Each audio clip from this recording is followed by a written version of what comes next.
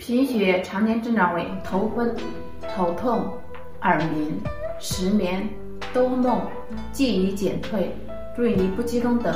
小儿贫血时会苦恼不安、躁动，甚至影响智力发育，免疫力低下的人多发。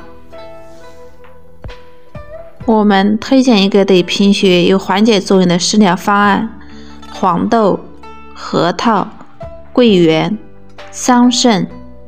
香米、莲子、山药、枸杞各五克，冰糖适量，放在一起熬粥食用。根据个人食量按比例增减，长期服用对贫血有缓解作用。想了解更多养生知识，请关注“九轩小诊院”。